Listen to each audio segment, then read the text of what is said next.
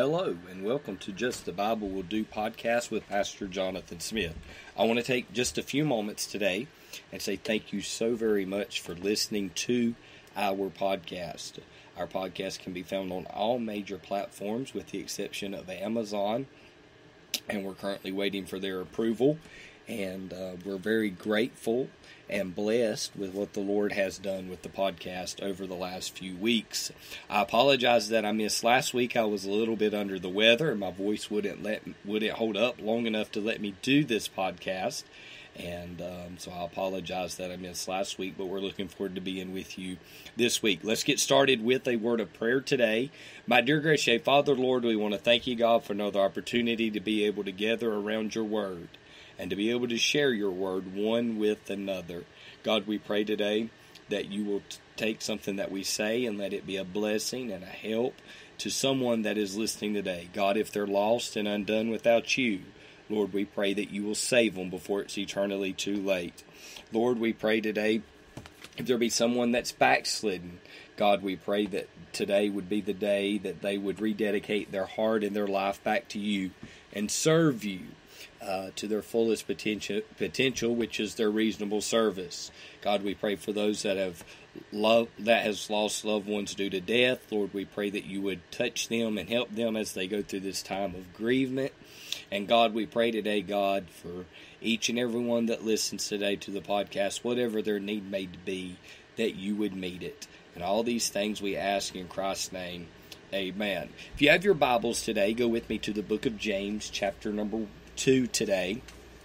James chapter number 2. We started in the book of James, and the last time that I met with you, we finished up the Christian and his Bible. And today I want to pick up with a different topic, and this will be part one. I want to deal with the Christian and his brethren. James chapter number 2, verse number 1. The Bible says, My brethren, have not have not the faith of our Lord Jesus Christ, the Lord of glory, with the respect of persons. For if there come unto your assembly a man with a gold ring and goodly apparel, and there come in also a poor man in vile raiment, and you have re- excuse me, and you have the respect to him that weareth gay clothing, and saith unto him, Sit thou here in a good place, and say to the poor, Stand thou there, or sit here under my footstool. Are ye not then partial in yourselves, and become judges of evil thoughts? Hearken, my beloved brethren, hath God not chosen the poor of this world rich in faith? And heirs of the kingdom which he hath promised them that love him. But ye have despised the poor. Do not rich men oppress you and draw you before the judgment seats? Do not they blaspheme that worthy name by which ye are called? Today, when we look at James chapter number 2, James here starts off probably with an awkward statement when he says here in verse number one, Have not the faith, my brethren, have not the faith of our Lord Jesus Christ, the Lord of glory, with respect of persons. I believe James here is saying that our faith in the Lord is incompatible with partiality and discrimination. We cannot combine snobbery with faith in Christ. These two do not mix. And I want to say today, friend, that that is so very true. That it is impossible today to be successful as a Christian and treat other so called believers like trash. Well, preacher, I don't think that they're a good Christian because if they was a good Christian, they wouldn't do this and they wouldn't do that and they wouldn't go here and they wouldn't go there and they wouldn't they wouldn't say this thing or they wouldn't say that thing. Hey, that's not up for you to judge someone's Christianity and the work of someone's Christianity. What you need to do today, friend, is serve God alone. Because at the end of the day, Romans chapter number 14 and verse 12, and every man must give an account of himself to God. It is not my responsibility today as a pastor for me to live my life for you, but I live my life for Christ because it is Christ that is seen it is Christ that draws men unto repentance. Uh, it is Christ uh, that is the reasoning that I live the way that I live uh, and talk the way that I talk and do the things that I do. Without Him, I am nothing. Without Him, I can never be nothing. Without Him, my work is in vain. I don't serve God today because it makes my mama happy, it makes my daddy happy, it makes my grandpa, my grandma, my aunts, my uncles happy. I serve God today because I want to serve Him. I serve God today because He saved me by His marvelous grace. And it will be a glad day in a lot of Christians' lives when they realize that they are to serve God no matter what the cost, no matter who it pleases, who it displeases, and they are to serve God today without partiality. Do you know why today, friend? And I'm going to jump on this soapbox for just a minute. I'm going to say a few things that may hurt your feelings, and if it does, it does. If it don't, it don't. And if you agree, fine. And if you disagree, fine. It don't matter. But one of the things here that Paul, one of the things here that the writer here is saying he says here, he deals with the indication of the problem. We see here, he said, we cannot combine, we cannot combine snobbery with faith in Christ. These two do not mix. When I think about that today, I think about something that has bothered me over the last several months and even over the last two to three years. And over the last few years, I have seen a snobbing and a partiality amongst the Baptist community. And when I say that today, I'm not talking about doctrinal issues where I'm seeing it, but I'm saying if you don't preach this certain group of preachers, then this certain group of preachers aren't going to preach you if you don't go to these certain revival meetings, then you're not going to be a part of this little clique of preachers. Can I say something today, pastors? We are not a part of a clique, but we are a part of the family of God and your church is no better than my church, and my church is no better than your church. Our churches may be bigger, our churches may be smaller, but at the end of the day, the purpose of the local church is to reach the lost, encourage the saint, help the widow, help the poor, help the widower, and to spread the gospel around the entire world. And it bothers me today that when churches have revival meetings and churches have um, other preachers coming in. Well, I'm not, our church ain't going to support that meeting. Why? Well, I don't like that preacher. Well, does the preacher preach the gospel? Does the preacher tell the truth like it is? Well, yeah, he does, but I just don't like him. I don't care too much for him. I don't care too much for his ministry. Let me say something today, friend. It takes all kinds for the world to go around. There are people today that I cannot reach that you can reach, and there are people today that you cannot reach that I can reach. And it's time that we put our partiality aside, and it's time that we come together and we serve God and we realize that God and the gospel is our number one focus and priority amongst our local churches today and that there is no partiality, and that there is no big eyes, and that there is no little U's inside of the church house, but that we're all sinners saved by grace, serving the same God, going to the same heaven, and we have the same goal. And I believe here the writer's seen this partiality. If we looked over throughout the Gospels, we could see that God Himself had no partiality. We know that he opened, he was open to the poor and blind Bartimaeus as he was to the rich young ruler. He was as honest and fair and forthright with the Syrophoenician woman as he was with Pilate. He treated everyone with the same love, the same interest, the same care and concern. He was not condescending when he, excuse me, when he was dealing with the publicans and the sinners. He never cowed down or compromised when he was dealing with those who occupied the seat of power.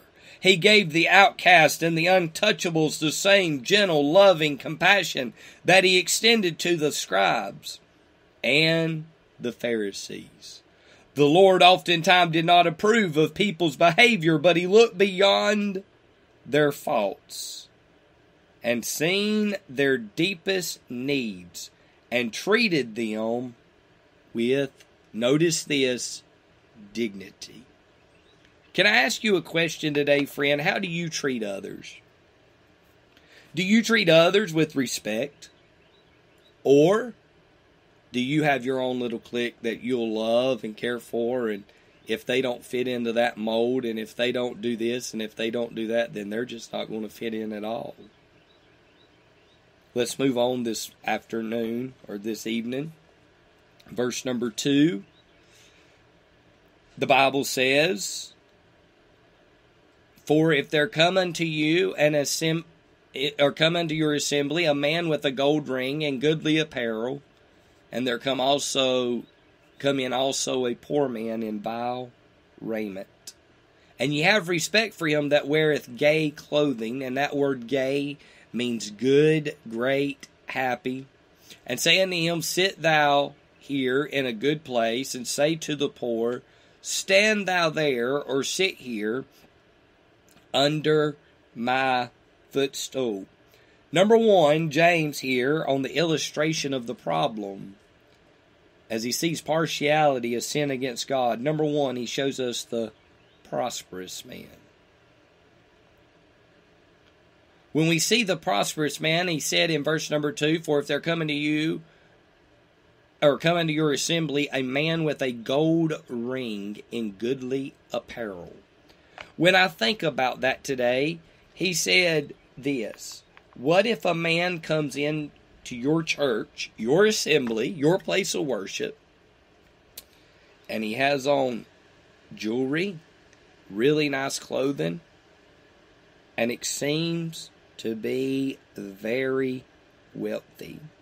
When we look here under the gold ring, that is something that everyone would see. It would be bright and shining. He was wearing goodly apparel. The word here would be likened unto a gorgeous robe. When we think about that, this man or woman would be well dressed. This man or woman would come into our church house. I'm going to get in trouble here. That's all right. And they would be wearing their suit and their tie and their long skirt or long dress that met everyone's standards and you would run up to them and welcome them. And you would say unto them, Sit thou here in a good place. In other words, ma'am or sir, you just come on up to the front row of the church and pull up a seat. you can come sing in our choir. You can you can teach a Sunday school class.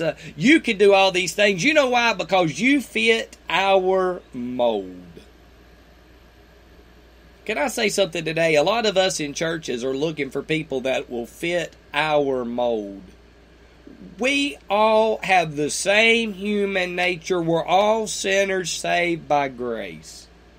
I don't care if you come to church in a suit and tie or if you come to church wearing shorts and a t shirt. Uh, the gospel is the same gospel that I will preach to you. I will shake your hand. I will hug your neck. I, I don't care how rich you are. I don't care how poor you are.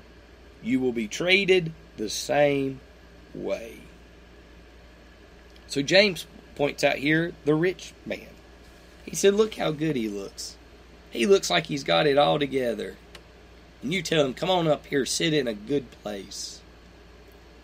But then James also gives us the poor man. He said, The poor man will come in vile raiment, and you'll say to the poor man, Stand thou there, or sit under my foot, footstool. When I think about that today, I think about those that come to church that may not have the best of clothing. And some churches will say, "Hey, you need to dress a little better when you come to church. We don't like the we don't like that outfit you wore today. Uh, uh, it it had too many holes in it, or uh, you know, it it's it looked a little dirty. The next time you come to church, try to wear something a little different.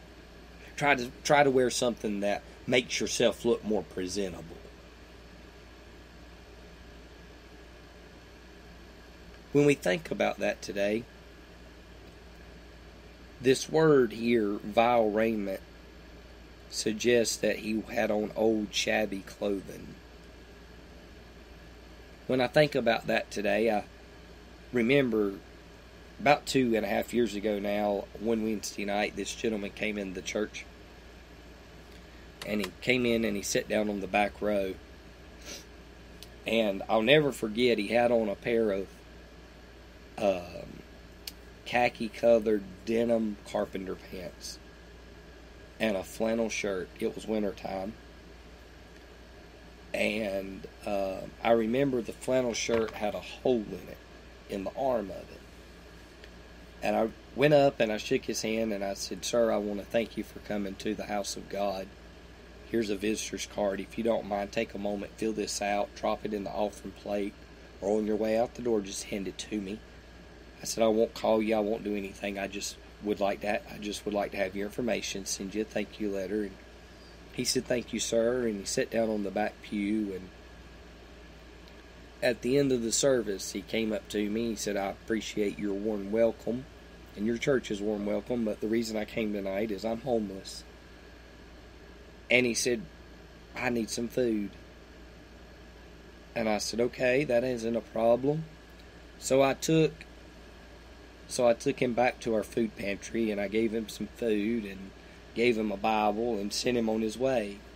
He asked me if there's anywhere that I knew he could stay for the night, and I told him about a homeless shelter that was right up the road from the church. He went there.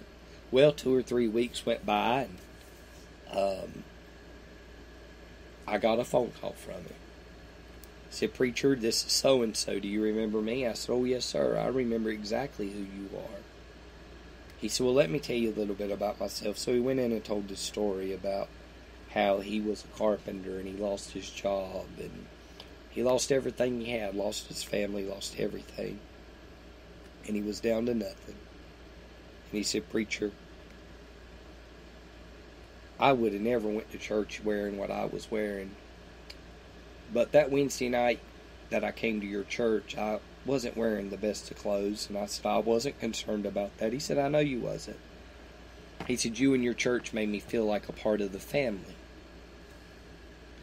And I said, Well, I appreciate that. He said, So this past Sunday, I decided to go to a church down the street. I said, Okay. And he said, Preacher, I was I went down to the church down the street and I was sitting on the back row just like I was in your church, and I felt out of place. I felt uncomfortable. So I got up and I walked out. And as I began to walk out, a lady began to testify about the saving grace of God. He said, I got down the I got down the steps of the church and I turned right back around and I went in and sat down. I said, Yes, sir. And he said, When she got done, I realized what she was talking about is something that I needed. I said, Oh, really? He said, Yes, sir. He said, I was calling to tell you this, preacher. I was calling to let you know that I've given my heart and my life to Christ. And had it not been for you, your church, and your kindness, I probably would have never darkened the doors of a church again. He said, Because of that, I got saved by the grace of God. I said, No, sir, because of the love of God that He bestowed on us and we was able to share it to you is the reason you got saved. It was but the divine appointment of God that you walked in the doors of Community Baptist Church and you was able to hear the gospel. It was divine divine appointment that you walked into this other church and you was able to hear the gospel one more time. I said it's nothing that we did, it all belongs to God. I said all that to say this. when someone comes to your church the next time and their clothes don't look the best and they don't smell the best or they don't wear what you think they should wear to church, instead of looking at them and say, God, I'd have wore something different if that was me. Ask yourself, are they homeless? Have they just lost their job? Are they on the verge of committing suicide? Are they depressed? What's wrong with them? Why are they here? What do they need? Instead of looking at them and say, Oh God, look at what they're wearing, what you need to look at them and say, God, give me a burden for them. And God, whatever they need, let them find it here. God doesn't care if you are rich or if you're poor. What God cares about is if you've accepted Him or rejected Him. So today, not only do we see partiality as sin against the Lord, not only do we see the problem stated, we see the indication, we see the illustration of the problem, but now I see the problem studied. We're going to finish up here in just a few moments. In verse number 4 through verse number 7. Verse 4 says, Are ye not then partial in yourselves? Uh oh. Are ye then, are ye not then partial in yourselves, and are become judges of evil thoughts?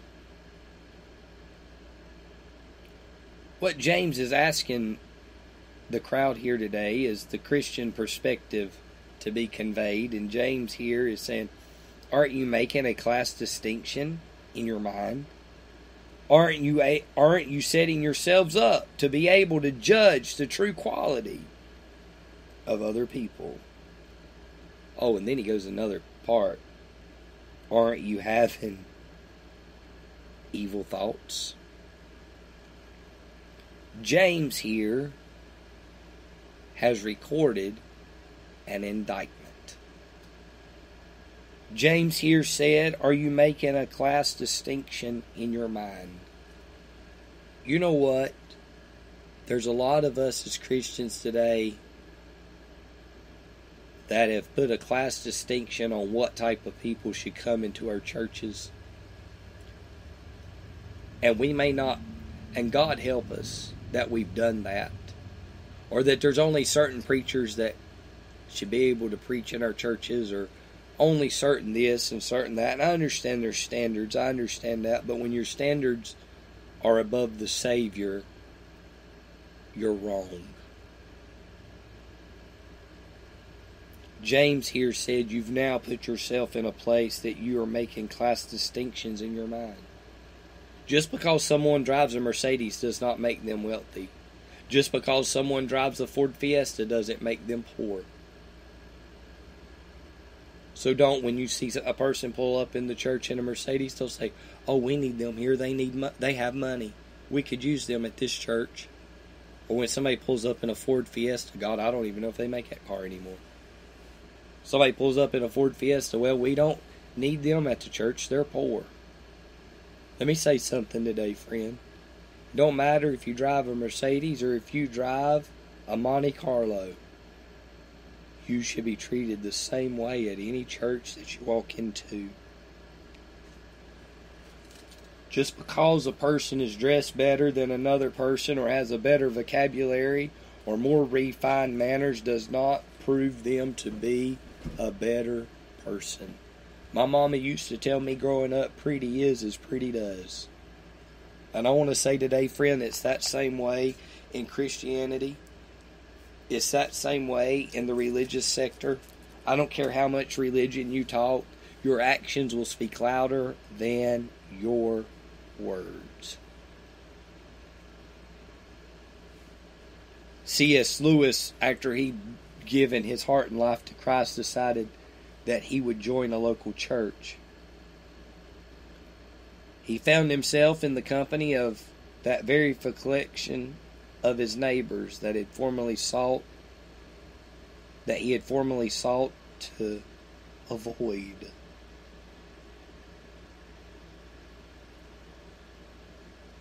When he walked into the church, the local grocery store clerk came up to him and presented him with a hymn book. He looked around and noticed that the man over there that had boots on that squeaked the woman in front of him wearing the ridiculous hat, and the man behind him that sang, sang off key. He found himself drawing the unwarranted conclusion that these people's faith must somehow be ridiculous. Only later did he learn that some of these people, in fact, were devout, well taught, and valiant Christians. Believers who Satan himself had reason to fear. It was a great mistake to judge people by their appearance. It's exactly what James is saying. Not only does he not only does he record the indictment, but James secondly in verse number five reviews the indictment. He says, Hearken, my beloved brethren, hath God hath not God chosen the poor of this world rich in faith and heirs of the kingdom which he hath promised to them that love him. When you look throughout the Bible, there was a lot of poor people that God used.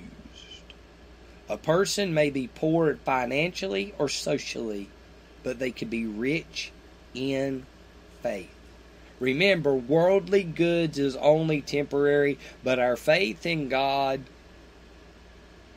is eternal. A person who is rich in faith holds in his hands the key to the vaults of heaven. The unlimited resources of the Godhead are at his disposal to accomplish plans and purposes of God. Excuse me. A person might be poor in this world and yet be no less an heir to the kingdom of God. We think about Moses, he was a poor man, but God allowed him to be raised in a palace and to do a great work. David was a poor man on it, taking care of his father's sheep. And God allowed him to be the ruler of many people. Not only do we see the indictment recorded, not only do we see the indictment reviewed, But then I see the indictment repeated. The first part of verse number six, but ye have despised the poor. James here cannot seem to let the matter rest. The word for despised here suggests that the people in the church were insulting the poor and shaming them. The same word is used to describe the Jerusalem apostles after the authorities had imprisoned them, beaten them, and threatened them. They departed from the presence of the council, rejoicing that they were counted, counted worthy to suffer the shame for the cause of Christ.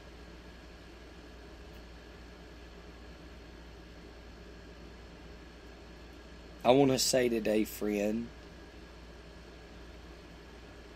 that I would rather be poor and not have two nickels in my pocket to rub together and know that I'm going to heaven and have faith in God than to have all the money in the world and be lost and undone without God. Not only today do we see here partiality as sin against the Lord, we see the Christian, we see the problem here has been stated. Not only that, if we've seen the problem it's been studied, we see the Christian perspective conveyed. And lastly, today, and I'm done, we see the Christian perspective confirmed. Last part of verse number six Do not rich men oppress you and draw you before the judgment seats? Do, do not they blaspheme that are worthy, or that worthy name by the which ye are called. James here goes to a practical note.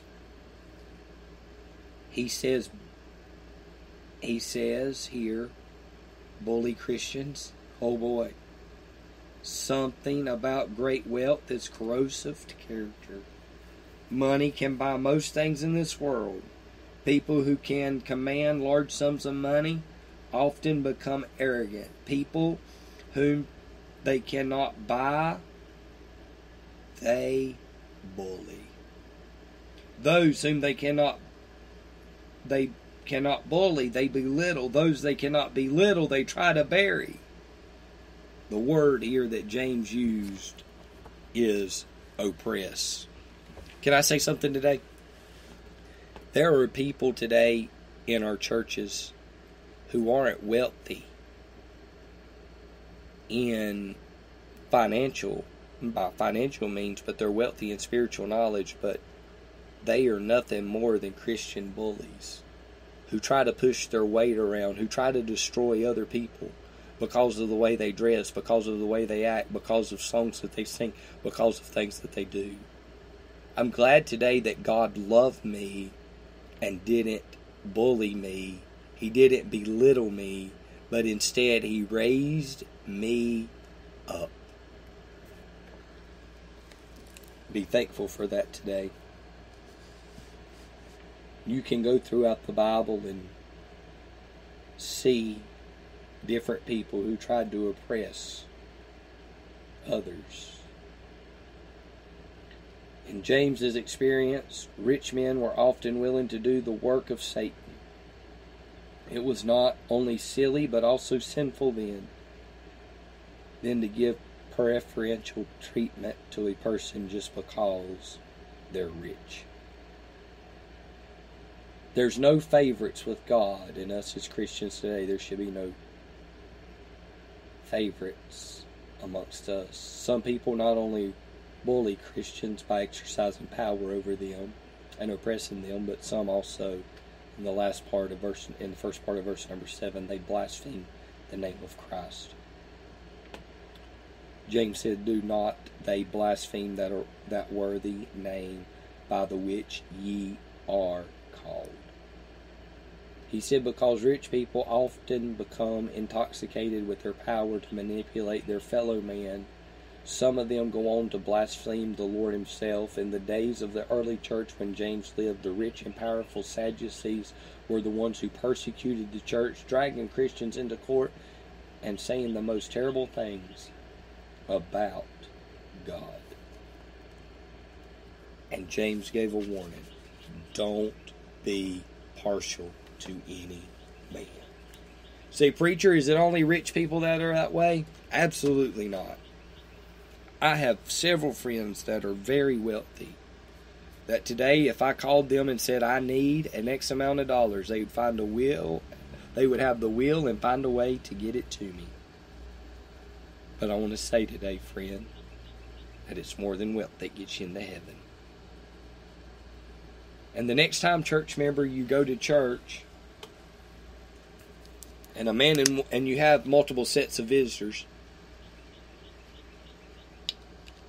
treat them all the same. One thing as a pastor, I've told my church, I don't care if a person comes in and they're clean cut, clean shaved, and look like they just walked out of a barber shop, or if they walk in the doors and they look like they just came off from sleeping under a bridge. We want them to leave Community Baptist Church knowing that God loves them. My dear gracious Father, Lord, thank you for allowing us to teach your word. God, we pray that something that was said or done on this podcast today will be a help and a blessing to someone. God, we pray today, Lord, that you wouldn't let your return, word return void. God, we pray today, Lord, that you have allowed your word to speak. And all these things we ask in Christ's name. Amen. Thank you so very much for listening to the podcast today. Feel free to send me an email, pastorsmith387 at gmail.com. If you come across this podcast on YouTube, feel free to leave me a comment. Let me know that you've watched. If you ever have any questions or concerns, please feel free to email me. Until we meet again, keep looking up. Jesus is coming soon. Thank you. God bless.